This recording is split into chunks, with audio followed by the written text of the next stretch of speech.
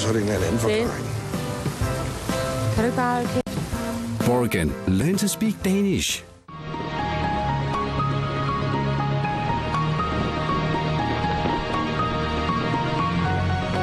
The Nobel Peace Prize for 2013 is to be awarded to the Organization for the Prohibition of Chemical Weapons, OPCW, for its extensive work for eliminating chemical weapons.